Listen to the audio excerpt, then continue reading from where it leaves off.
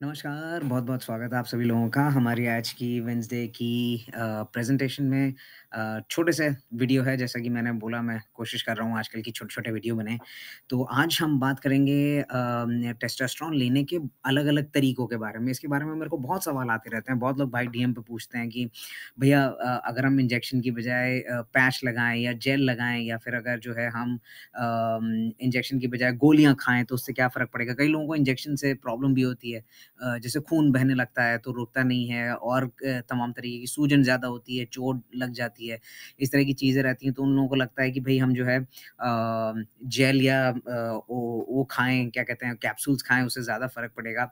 तो आज हम उसी के बारे में आपको बताएँगे मैं उसी के बारे में आज आपको बताऊँगा कि क्या-क्या होता है और किस चीज़ का क्या-क्या फ़र्क रहता है, किससे अ, मतलब जो है जो जो चेंजेज़ आते हैं, जो भी बदलाव आते हैं उनका किस प्रकार के टेस्टोस्टेरोन से क्या फ़र्क पड़ता है, वो मैं आज आपको डिटेल में विस्तार में समझाऊँगा। तो सबसे पहले तो जो तीन तरह के टेस्टोस्टेरोन होते हैं, इन द सेंस लेने के, टेस्टोस्टेरोन तो एक ही होता है। उसको लेने के जो तीन अलग-अलग तरीके होते हैं। पहला तो आप जो है इंजेक्शन से लेते हैं जो कि मेरे ख़्याल से 90% ट्रांस पूरे विश्व में जो है उसी प्रकार से जो है अपना टेस्टोस्टेरोन लेते हैं इंजेक्शन के तौर पे। दूसरा आपका जेल या फिर पैच जो होता है उसके तौर पे लिया जा सकता है और तीसरा होता है आपका गोली, है ना? गोली आप खाते हैं, ओरल। तो ये तीन तरीके के जो होते हैं, वो होते हैं। उसमें आप देखिए कि इसमें फ़र्क क्या-क्या रहता है, ये मैं आपको बताता हूँ। अच्छा, तो उसमें आप देखिए सबसे पहले देखिए क्या होता है कि जो पैच या फिर आपकी ट्यूब जो होती है, क्रीम आती है, वो होती है, जेल आता है वो या फिर आपके जो पैचेज़ होते हैं, उससे क्या फ़र्क होता है? देखिए अभी जो है आप टेस्टोस्टेरोन की जो पूरी टाइमलाइन होती है, वो क्या है और कौन से महीने पे कितने बदलाव आते हैं, आपके सही तरीके से चल रहे हैं या नहीं चल रहे हैं, इसके ऊपर मैंने पूरा एक फुल फ्लेजेड कॉल करी है और वो वीडियो उपलब्ध है। आप हमारे यूट्यूब पे जा के देख सकते हैं उसको कि आपका जो टेस्टोस्टेरोन है वो ठीक तरह से चल रहा है कि नहीं, आपके प्रभाव जो हैं वो ठीक तरह से आ रहे हैं कि नहीं आ रहे हैं, ये आप जो है उस वीडियो में जा करके चेक कर सकते हैं। अभी जाइए चेक करिए कि तीन महीने पे क्या बदलाव है छह महीने पे क्या बदलाव है साल में क्या बदलाव है उस हिसाब से मैंने पूरा एक टाइमलाइन तैयार किया है। अच्छा, तो आप जिस तरह से टेस्टोस्टेरोन लोते हैं, ये प्रभावित करता है कि परिवर्तन आपके शरीर में कितनी तेज़ी से होता है कि आवाज़ कब बढ़ बदल रही है, ठीक है? फिर आपको जो है दाढ़ी-मूँछ कब आ रही है, मासिक धर्म कब बंद हो रहा है, ये सब चीज़ें जो हैं इससे काफ़ी फ़र्क पड़ता है कि आप किस तरीके से ले रहे हैं। तो ट्रांसडर्मल एप्लीकेशन जो होती है, जो पैच, क्रीम या जेल की तौर पे लिया जाता है, वो मैस्कुलिनाइज़ेशन के तौर पर यानी कि आपकी आवाज़ भारी होना और आपके जो है शरीर पर जो है बाल आना नहीं सॉरी वो नहीं होता, मैस्कुलाइज़ेशन होता है। अब इसमें जो हम बात कर रहे हैं, इस पर्टिकुलर कॉन्टेक्स्ट में जो हम बात कर रहे हैं कि आवाज़ भारी वगैरह ना जो होता है, वो इंजेक्शन के समान डिग्री में के पे ही काम करता है, एक तरीके से आता है। लेकिन मासिक मासिक धर्म को रोकने में और चेहरे और शरीर पे बालों को बढ़ाने के लिए ट्रांसडर्मल टेस्टोस्टेरोन जो है, वो थोड़ा अधिक समय लेता है। अम, क्यों लेता है अब वो तो नहीं पता लेकिन इंजेक्शन जो है वो सीधे आपके यू नो मसल में लगता है, वो ज़ाहिर-सी बात है एकदम से फैलता है तो वो उसका जो है उसका जो प्रभाव है वो ट्रांसडर्मल एप्लीकेशन से बहुत ज़्यादा तेज़ होता है, ज़्यादा होता है। इसीलिए जैसा कि मैंने कहा कि 90% ट्रा अ, प्रतिशत 90% ट्रांस मेन जो हैं पूरे विश्व में वो टेस्टोस्टेरोन का इंजेक्शन ही लेते हैं। बहुत कम लोग हैं जो ओरल लेते हैं या फिर अ, या क्रीम वगैरह लगाते हैं, ठीक है? इसमें आपको बहुत चीज़ें ध्यान भी रखनी पड़ती है जब आप क्रीम वगैरह लगाते हैं ना, कि आपके साथ जो भी है उसको कहीं वो क्रीम ना लग जाए। ये पता चला उनकी भी दाढ़ी मूँछ आ गई, उनके बाल आ रहे उनकी आवाज़ भारी हो गई, तो वो दिक्कत आ सकती है, तो आपको ध्यान भी बहुत रखना पड़ता है।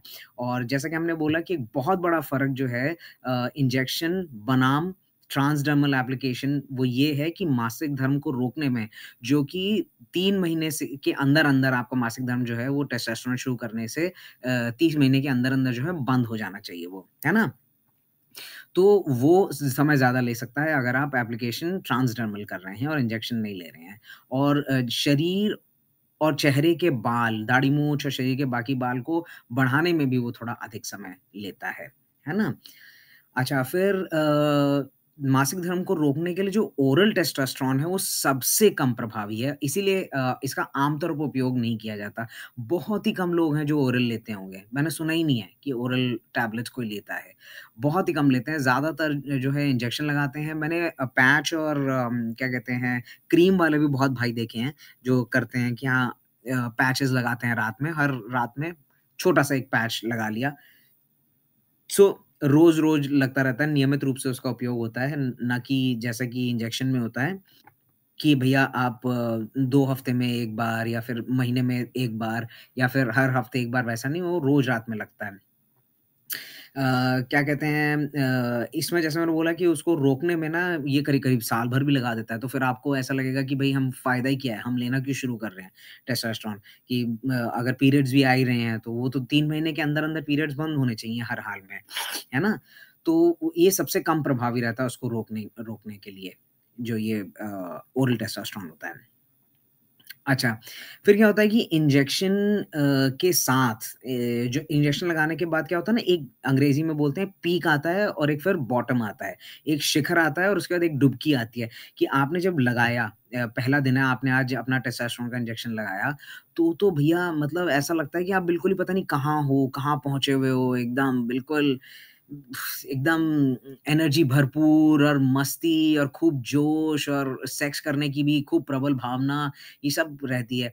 पर धीरे-धीरे जैसे-जैसे आप जो है उसके डुबकी की तरफ़ आते हैं कि वो कम हो रहा है, समय कम हो रहा है, है ना? जैसे 14 दिन पे लगता है, तो जो 10वाँ दिन होता है, 11वाँ दिन होता है, 12वाँ दिन होता है, उसमें क्या होता है, थकान में लगने लगती है, चिड़चिड़ापन होता है, कुछ करने का मन नहीं होता, बहुत गुस्सा आता है, ये थकान होती है। ये सब चीज़ें जो होती हैं ना, वो होती हैं। तो इसमें क्या हो सकता है कि आप अपने डॉक्टर से बात करें और बोलें कि भैया हमको जो है इंजेक्शन हर दो हफ़्ते की बजाय हर हफ़्ते का दे दीजिए आप, हर हफ़्ते लगे, ठीक है? या कई भाइयों को महीने में एक बार बोला हुआ है, तो वैसे करने की बजाय हर हफ़्ते का उनसे पूछ सकते हैं और उसमें क्या कर सकते हैं कि आप ट्रांसडर्मल या फिर जो मौखिक ये जो ओरल टैबलेट्स है, उसको खा करके जो है आप ये कर सकते हैं क्योंकि उसमें क्या होता है रेगुलर एप्लीकेशन रहता है, रोज़ की रोज़।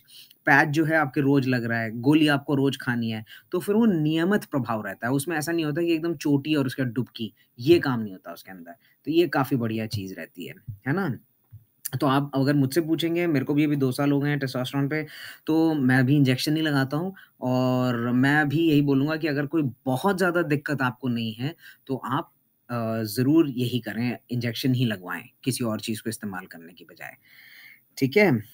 तो आशा करता हूँ आज का कॉल आपको अच्छा लगा होगा और अच्छा कुछ सीखने को मिला होगा। अ, कोई सवाल हो तो बिल्कुल बेझिझक फ़ौरन जो है लिखिए कमेंट सेक्शन में, मैं खुद ही यहाँ पे कोशिश करता हूँ कि सारे सवालों के जवाब मैं आपको दे सकूँ। अच्छा एक बहुत महत्वपूर्ण सूचना मैं आपको बताना चाहता था कि नंबर मेरा चेंज हो गया है, नंबर बदल गया है। आईडी मेरी सेम ही है क्योंकि मैंने पुरानी वाली आईडी मिटा दी थी तो नए वाले नंबर पे भी वही आईडी मिल गई है। सो अभिसांकृत ही है आईडी लेकिन नंबर बदल गया है, जिसको नंबर चाहिए वो मुझे मैसेज कर दे और बाकी ग्रुप में तो मैंने फैला फैलाई दिया था नंबर डाल दिया था। तो वो ध्यान रखें पुराना नंबर अब उपयोग में नहीं है, तो अगर किसी के पास है तो उसको डिलीट कर दें और नए नंबर पे ही जो है आप मैसेज या कॉल आपको करना हो व्हाट्सएप पे तो आप कर सकते हैं। ऑलराइट, ऑलराइट आशा करते हैं आपका साल बहुत बढ़िया बीता होगा और इस नए साल के लिए बहुत-बहुत आप लोगों को शुभकामनाएँ और मैं आशा करता हूँ कि इस साल आपके सारे सपने पूरे हों, आपका टेस्टोस्टेरोन शुरू हो जाए, आपकी सर्जरीज़ हो जाएँ और आप बहुत खुश रहें। आपको अच्छी बड़ी नौकरी मिले, अच्छी यू नो प्यार करने वाला एक साथी मिल जाए और बहुत अच्छा आपका ये साल बीते। बहुत-बहुत धन्यवाद भाइयों अगले हफ़्ते फिर मिलते हैं। बाय-बाय।